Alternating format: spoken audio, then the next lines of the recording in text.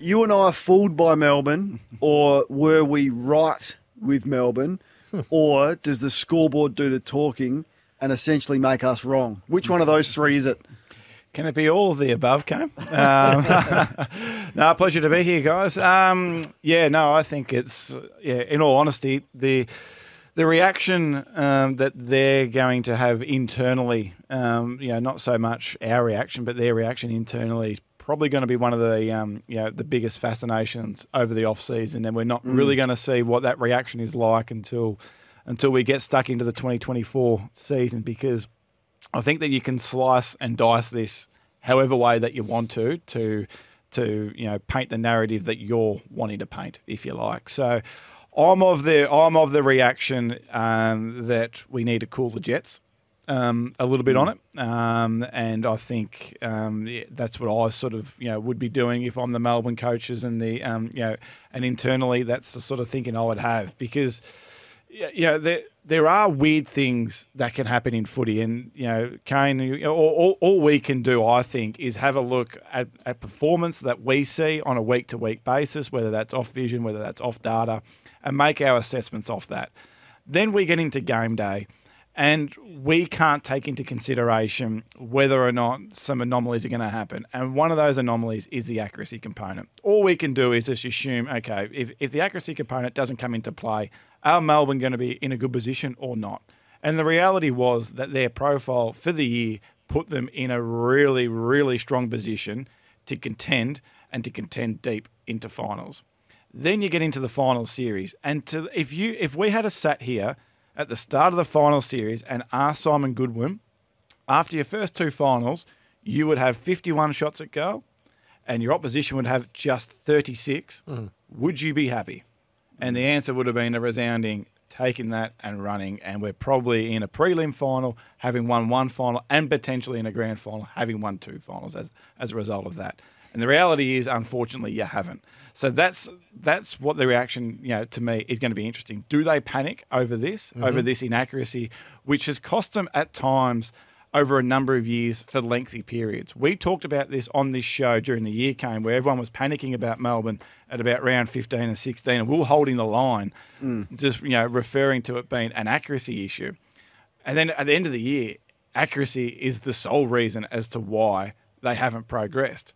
So at some stage, I think you have to address that component um, in terms of you know is it is it the personnel is it the, you know you know the fact that you do have inaccurate forwards on your list that's actually causing these issues.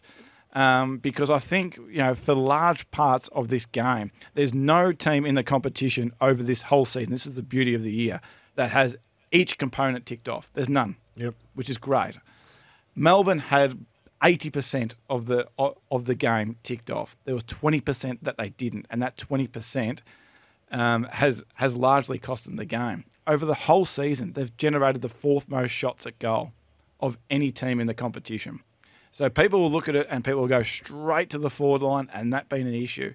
To generate the fourth most shots at goal is telling me that your system is okay. That's that's your job What's as better a than coach okay? to generate the fourth most shots. Yeah. To not get that return, that is what would be ripping the hair out of everyone's head, whether that be Yeah. the coaches, supporters, whatever it is. So, what you do with the accuracy component is the is the interesting piece to me. Mm. How much you panic over that and what you react to that phase of the game is going to be interesting. Let me go into accuracy because it's a combination of skill, technique, and headspace. Yeah. And you got somebody like uh, Fritter, who missed a fair bit of football, who's one of the most gifted, talented, technically correct kicks that the game has seen, and yet he missed a couple. He he lost his way through the finals. So it's it's it's a very difficult one to get on top of. Is accuracy. Yeah, Petracca had his moments last year where he was really. Uh, Poor in front of goal. I'm not sure what he ended And up he was this poor year. this year as well, and terrible. poor again Yeah. this year. So Yeah. it's an area where he so someone like improve. him, Yeah. someone like him, he he's got issues Hmm. in front of goal. Clearly, you know, there's a big enough sample size. The Bailey Fritsch example is something that we can't take into consideration. We can't take into consideration that that kick against Collingwood to put him within a goal or two goals, whatever it was, he would kick that eight times out of ten, and then he, you know, barely hit his foot.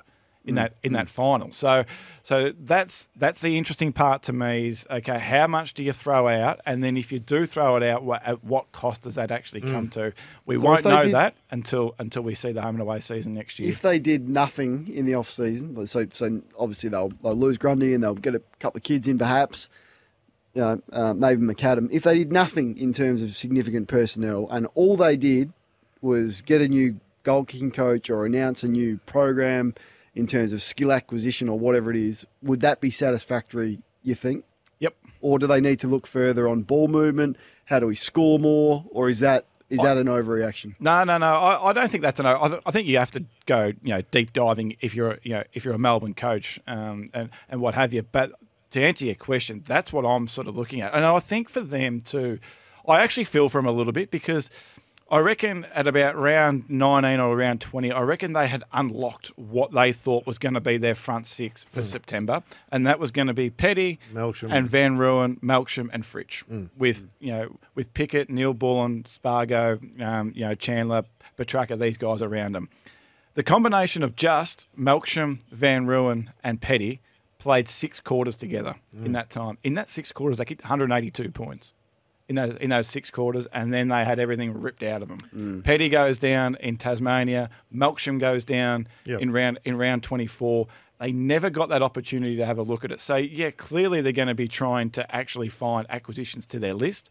But if I'm Melbourne, if I'm Melbourne, I am not panicking if I can't find that acquisition and going and giving up ridiculous amounts to get that acquisition. Because I think just within that list and even in that midfield group, you know, I, I think that you have the potential to be able to change that midfield group slightly with what you've already got on your list.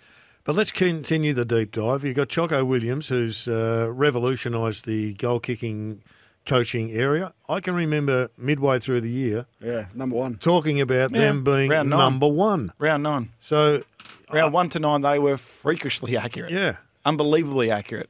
And then it all fell apart for a two month period. It came back for a four week period, and then it all fell apart for a three or four week period again. So, um, yeah, that that's I, I wouldn't. That's what I would sort of be thinking. And if they, you know, and you'll probably know a little bit more about McAdam than all of us too, Kane as well. You know what he can do to this forward line as well. Um, I, I don't. Yeah. I, Maybe I'm too stubborn on Melbourne. I don't know. Maybe I'm going to be proven wrong next year. I, What, what, I, I, I've got what no I'm idea, not going to let them off for is I thought they had an attitude problem, certainly on, on Friday night, and I, I thought that cost them. I thought there was a an air of arrogance about the way that they played and, and how undisciplined they were. I mean, Kozzie Pickett, he had a had a meltdown. Hon- Honestly, it's the only way I can describe it. He had, he had a genuine meltdown. Now, not to say he wasn't impactful and had a couple of moments to go, wow.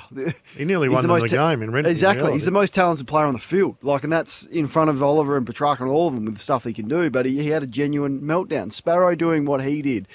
Oliver not knowing the rules. Uh, So I can't let them off for that. Now, No, how how you want to analyse that will be up to Simon Goodwin, how he reflects on his own year and his own comments and perhaps how that infiltrated the group. That's what I want them to, to look at um, closely. And, and did this group get a little bit ahead of themselves? Had they been working as hard as they possibly could on, on their craft and doing all that? And, and, and did they have an? Did they think they were better than what they are? Because they've lost their last four finals and, you know, you can't just sweep that bit under the carpet. No, you can't. that's what I'd be doing. No, you can't. And- And I would have thought, um, you know, if you're a Melbourne supporter sitting back watching that final, if there's one player that summed up the final series for Melbourne, it is Pickett. I thought because I thought Pickett in their two finals against Collingwood and um, and Carlton looked like their most dangerous forward half player there.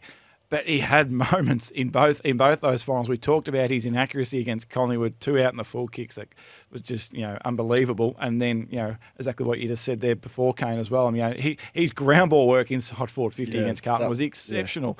You know, Adam Saad, we rate Adam Saad really highly. He put him to the sword. Mm. Clearly put him to the sword on Friday night.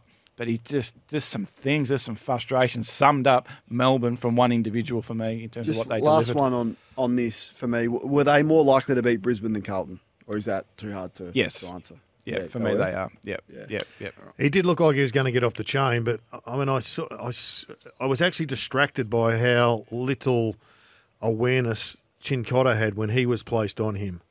He had no idea how to deal with him, Mm. and yet it looked like it was only a matter of time before he kicked another goal, Yeah. and he had a shot. Yeah, hit the post. As you know, as you said, they put Saad to him, and uh, he let up on Saad and got a couple of shots. But uh, the Chincotta one really was it was eye boggling. It was eye catching just how little knowledge he had or experience in dealing with uh, a bloke who moved like cause he did. yeah, yeah. No, that was uh, no, it was interesting. Okay, whilst we're all got the blues here, uh, we've got our first texter on the line. There's many already on the line, but uh, this one relates to Carlton. It relates to you, Hoyne, with your ratings. Can you please get clarity from the uh, most knowledgeable man in footy, Hoyne, as to why TDK was the highest rated player on the ground across two weeks? Is that based on exceeding expectations position, or is it uh, contested marks, possessions, etc.? So yeah, he was only the highest rated player on the ground against um, Melbourne. He was good against Sydney, but he was the highest rated player on the ground against Melbourne. And getting back to what we just spoke about before, his ability, and you were there, G, and I know you were watching Kane as well. His ability to kick those first two goals Yeah. of the game. We talk about accuracy, how important accuracy is. This is why the rating system measures accuracy and inaccuracy harshly hmm. because it determines games like we've seen so far, you know, you know, sort of during this final series to go back and kick those two goals. That first one from a pretty difficult position as well to go back and kick that high reward. The next one in a contested situation to get a free kick, go back and kick that high reward. His ratings is away. Only Paddy Cripps on the weekend for Carlton had more contested possessions than what he did. Yeah, he's got great, So- great ground ball, loose ball Unbelievable. gets. Unbelievable. So it's his ability to be able to get around the ground. I heard you last night on the show, gee, um, you know, here sort of talking about taking a ruckman that's able to get involved around the ground and at ground level. His ability to be able to do that. He's clean um, so ground far, level. yeah, so far this final series has been um, has been exceptional. He plays football the right way. He's aggressive, and he's going to be a problem for opposition teams for a long time. Uh, a quick word on the Giants, can we? yeah. Or yeah. no, quick word on them. So don't sleep on the Giants. It's what we that's what we've been sort of speaking about for the last couple of months here. And what they've done in this final series, they've now evolved their game to a whole nother level. So their turnover game, which we speak about a lot on this show, was clearly the best in the competition heading into this final series. Their stoppage game was about mid-table, which we haven't really seen from GWS for a number of years. And then what they've done in this final series mm. is absolutely dominate St Kilda and Port Adelaide out of this stoppage mm. game. So close to mm. one in three of their clearances so far in this final series have gone on the scoreboard. To put that into context, AFL average is about one in four, one in five um, of their of their clearances have gone into the scoreboard. So now, so now they have the ability to get you multiple ways. This is why this team is so much, um, you know, so much of a threat and probably playing the best footy of any team in the competition right now. All right. a Oh, I think that was Hoyney tipping the pie, the uh, the Giants No, to I'll beat the into- I'll get into that. Hold your horses, Colin. We'll explore that shortly. Uh, but quick clue on guess who? Yeah, so guess who? So this, pl- yeah, so this player, he's the third hardest player to beat in a one-on-one contest this season. Who is it? And he's still playing. Still playing. Obviously. Still playing. Third hardest player to beat in a one-on-one. Have your guesses through now. I'm racking my brain before we get back to Hoyney's observations about who this player could be. Who's really difficult to beat in a one-on-one contest? Gerard, have you got any thoughts on who it might be? I've got a couple. I reckon uh, IQ from Collingwood, and maybe Isaac Quaynor. yep, and maybe CI from the Giants. Oh, Mm, lookalikes. that was that was the one I was going to go. I was going to go Connor Idun from the Giants. Well, Um, you two are very, very, very smart individuals. It's uh, very, yeah, very well done. Good guessing. IQ? So, Connor Idun. Connor Idun. Idun. Connor Okay. Connor Idun. what- So what's he doing well? He's in good company. So these are the five hardest players to beat in a one-on-one contest this year. Jacob Weitering, who's flying at the moment. Yep. Sam Taylor, who we've talked about at length. Then comes Connor Idun. One for Richmond supporters to look out for for next year. Tyler Young. Tyler Young. And then Darcy Moore. So Tyler Young's in good company there, and, and, and so is Connor Idun in, in company of Weitering Taylor and Darcy Moore. So uh, it's um so, so his his record this year on some of the best individuals has been absolutely phenomenal. So he's played on Dusty and kept Dusty really quiet. You know how highly I rated his season. Powell-Pepper, who's been influential, um, you know, throughout the year for Port Adelaide, kept him quiet twice. Isaac Heaney kept him twi- um, quiet twice. Kept Waterman quiet twice, and then kept Jack Martin quiet as well. So I reckon you can put your house on him going straight to Jamie Elliott this weekend, just given that sort of you know type of player that he's you know, sort of been able to keep quiet this year. Isaac Quaynor has been phenomenal this year as well, and this guy deserves the same amount of praise as what Isaac Quaynor has received this year. He's absolutely flying. This Who will he go Right. to? uh, item. Oh, he'll go straight, walk up straight to Jamie Elliott. I'll Uh, Isaac Quaynor. Isaac Quaynor. Will he get Toby or will it be Maynard? I I initially thought that it actually might be um, Quaynor that would actually go to Toby, but um, I, might have, I, might have. I might have actually misread that. It actually might be Maynard. Who knows what it will be? I heard Quaynor last night say that they're a system based defence, so they'll rotate heavily against him. Quaynor's only really played him once, got beaten that time. J- j- But- Just on that, like, I don't know. It's a bit of a cop out that where, where it's a system based defence. If you're going to play a system based defence on him, he's. He, I think he's too clever for it. Like, I think he needs physicality, get him away from goal. So push him, bumper bar him, be really aggressive, get in his face. If you're going to zone off him, I mean, he'll put you to sleep, won't he? Like, I, I always the Saints I- tried to zone off him. That didn't work. Whether or not this is too simple or not, I always think that, that there has to be exceptions to the rule when the individual is is just Exceptional. is just yeah exceptional, and clearly this bloke is exceptional. So You ask Toby um, what he wants. Does he want 10 metres of space where someone's guarding and zoning off and waiting and trying to intercept and come off his man? Or, or does he want someone in his face, bumper barring him, being really physical, not letting him turn around, not letting him get in behind? I guarantee you what he wants. So I think Mm. Don't give him coaching is about taking away what Mm. the opposition want and, and giving them what they don't want. And, and that's what I'd be doing. So I'd be having Maynard play as physical as he possibly can, bumper bar him all day. And yeah, he may not have the speed and agility at times, but he hates getting beaten, and Mm. that would be a fascinating matchup. So hopefully, for the good of the game, we, we do get to see that. Uh, just just on the Giants, uh, can they do it? Yeah, yeah. So just yeah, no, they can absolutely they can. I think it's I, I think it's a genuine 50-50 game. I can't wait for Friday night. As soon as Saturday night left, I've just been counting down for six days. I mean, you know, the team that's been on top all year and has been the best team in the competition coming up against the informed team in the competition right now. So it's going to be a cracker. One thing, just a couple of things for Collingwood, um, if I can just you know just touch on them. Well, just before you like. go, what's your relationship with the Pie supporters like at the moment? I know, we're trying. You're okay? I think I'm done for the year. Anyway, I- I've conceded. I've, I've conceded on them, despite me saying at length that they are the best team in the Yeah. competition. They still think I um I, I dislike them. That's okay, but but just one thing for Collingwood is that so as, as good as what GWS are going at the moment, as I said before, there's no team in the competition that is complete, that is absolutely bulletproof like Geelong were at this stage last year. So.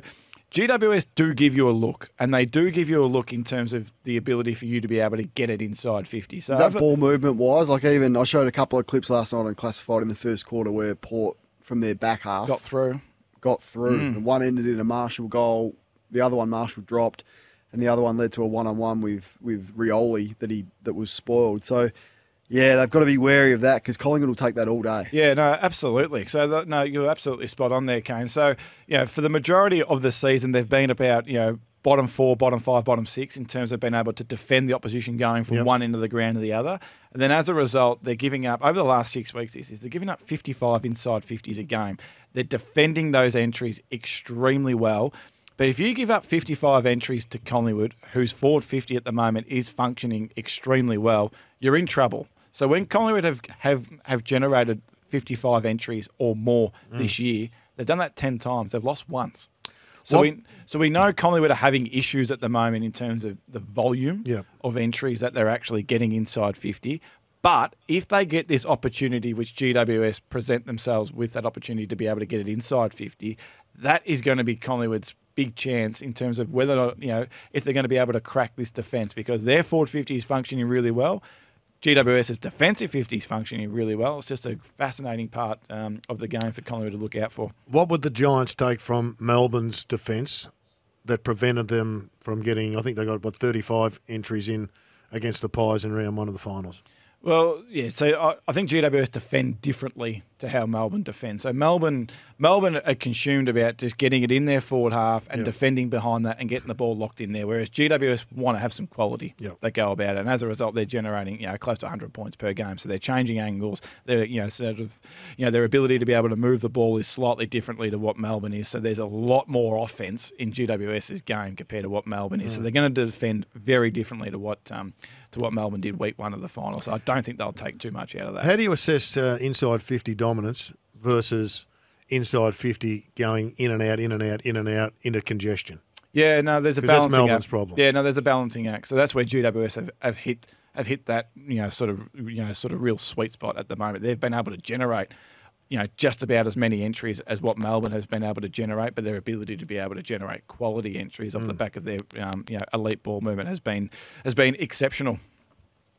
All right, what about the Pies? What are they going to be wary of? Is it their starts, is it? No, so GWS have to be wary of this. So Collingwood, just think of, and I was just thinking of this during the week. So just think of Collingwood's last three finals at the G. So their final against Geelong, their final against Freo last year, and their final against Melbourne.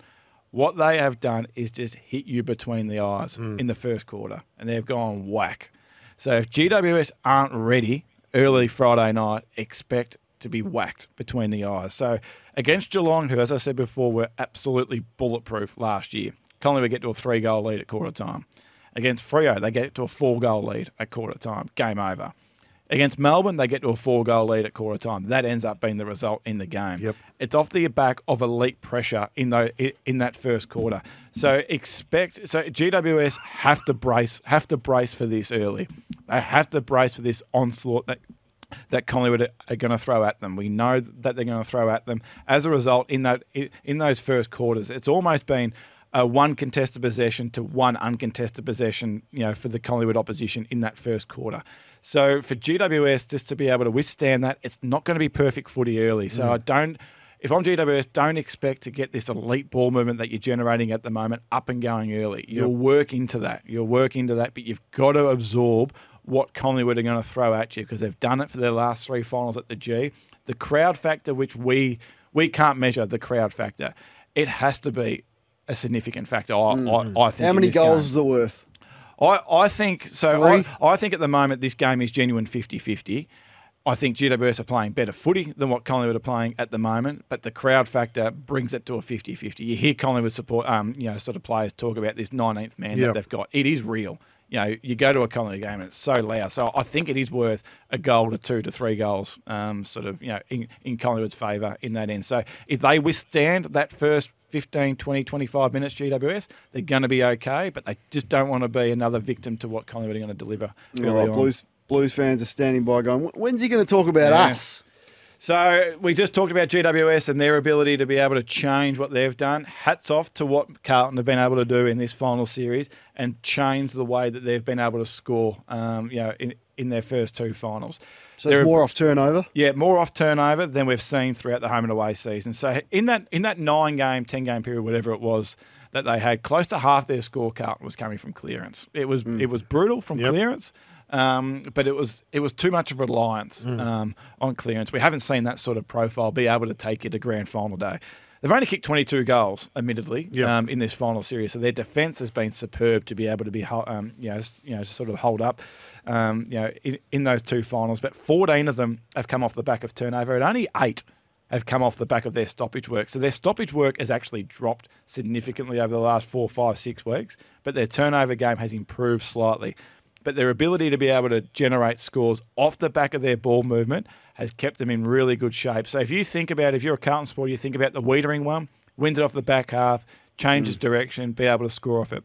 If you think of the Matt Owies goal in the last quarter, which put him in front, I Yep. think that was a goal that started in D50 and they were able to move it from one end of the ground to the other. So they so they've been able to score different ways in this final series, which, as I said with GWS, is such a is such a strong thing. You don't want to be reliant on one method, and um, and Carlton have been able to show that so far in their first two finals matches. So so hats off to them in terms of what they've been able to do. Um, yeah, and whether or not they can take that up to Brisbane on Saturday or not, it's going to be proof in the pudding. Speaking of Brisbane, any thoughts?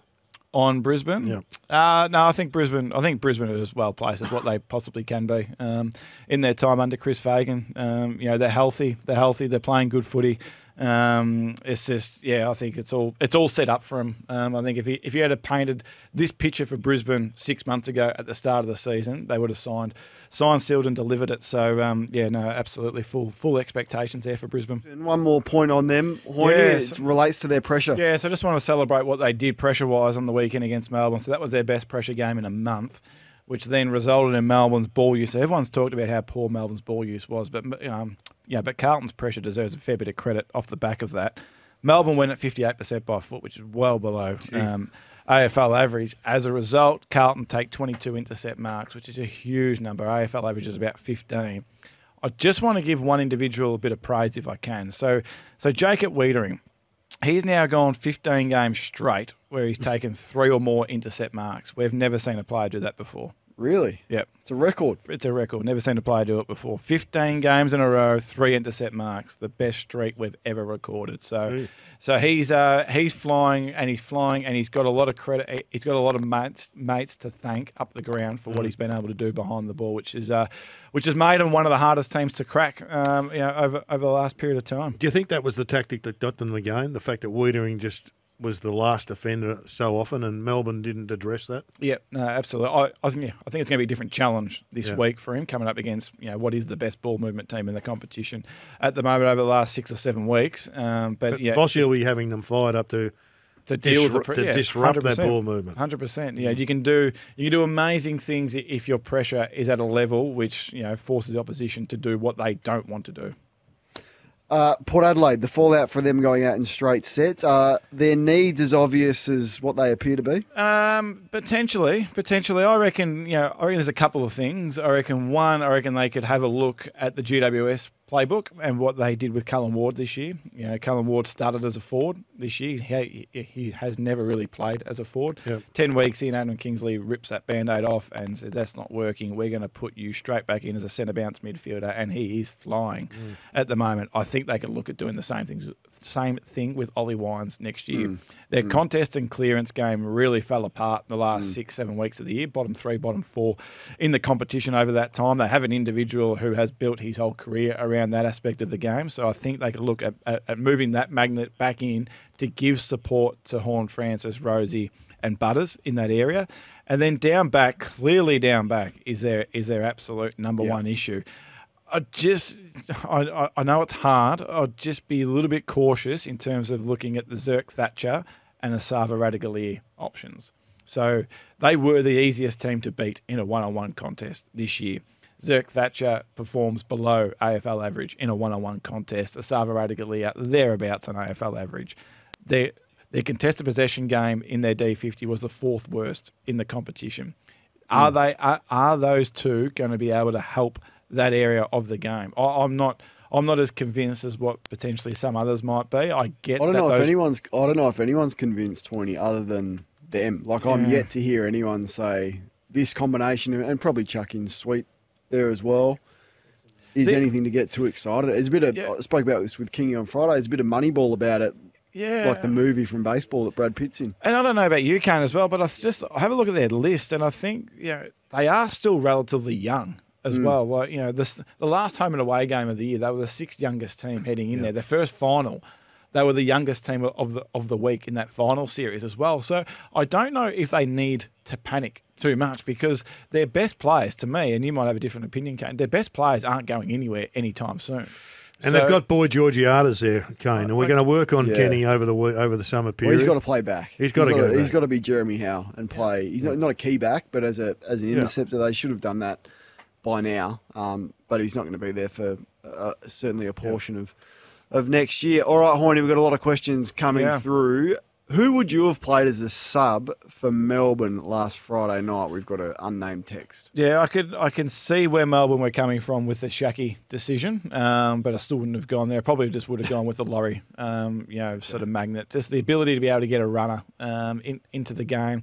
They were a little bit hamstrung. Probably that probably points to their depth at the moment, and, and yeah, a little bit of lack of depth at the moment. Uh, but I probably would have gone with that magnet. Um, All right. I would have Where thought. would you play Nick Daicos for the majority of his game time? Asked Peter. Yeah, fascinating one. I'm playing him behind the ball um, if it's me. So you know, so that- back to the start of the year. Yeah, setup. so I think you know he has performed better as an individual in the midfield of the ground, but I'm playing him behind the footy, and I'm playing him behind there because I think Collingwood's defensive profile, um, you know, was at its best last year when, um, sorry, at the start of this year when he was playing behind the footy. It's dropped off a little bit since he's gone back into the midfield area. Um, so I'm looking at playing him behind the footy. I know Leigh Montagna's going to touch on this tomorrow night on AFL 360 as well in terms of where you know where he should play, but it's going to be interesting to see where they put him um, on Friday night. All right. Uh, what about for the Blues? What area of Brisbane's game can they exploit? Asked Pat. So Port won't able to do it, but Brisbane's Brisbane's ability to defend, um, you know, stoppages has been a bit of a concern. They were fantastic against Port Adelaide week one of finals, but you know, sort of despite Carlton sort of dropping off in that area over the last couple of weeks, that's the area that I'd go to work on. If I'm Carlton, I don't want to make this a transition game. I don't think you're going to be able to compete against Brisbane in the transition game. Their ability to be able to punish you off turnover is clearly the best in the competition trying to make this a high stoppage game, trying to make it a scrap. Give us a number and go to work. To have I'm, stoppages. I'm trying to get to that 80 plus stoppages right. against Brisbane. So make it a dour affair. I think if you're Carlton, you're going to win this game if it's a 10 or 11 goal a piece game. You're not going to win it if it's a 90 plus um, mm. sort of scoring affair because they're just they're just too potent offensively. So I think you've got to make it a bit of a scrap um, if I'm Carlton. All right. Does Mason Cox and Darcy Cameron need to go hard and really physical at Briggs, knowing he's not going to be 100%? I might put that one to you, Gerard. Uh, uh, Snat, do you think Cox and Cameron need to be really physical with your man Briggsy? I think they need to be physical wherever they, uh, whoever they're playing against. Mason Cox's transformation since he was dropped was uh, superb. Cameron's uh, hasn't been at his best, but uh, there's only one way back, and that's to play as hard and as physical as you can if you're in that ruck position. So, mm. in answer to that question, 100%. And also probably try and expose the left wing because the mm. left wing. There's something wrong with it, mm. and I'm not sure what it is, but it wouldn't like to be bumped and scrumped and, and pumped all that often. Mm. Uh, Hoyne, outstanding work as well. Uh, we've got one week to go yeah. Um, with you. Um, We're almost there, aren't we? Forward to doing that. Who's going to be in the grand final, Hoyne? Uh, Brisbane will get there, and I've just genuinely got no idea about Friday oh, okay. night. Genuinely got no fence. idea. That's, a, that's a, negative Magpie fan. Toss of the coin.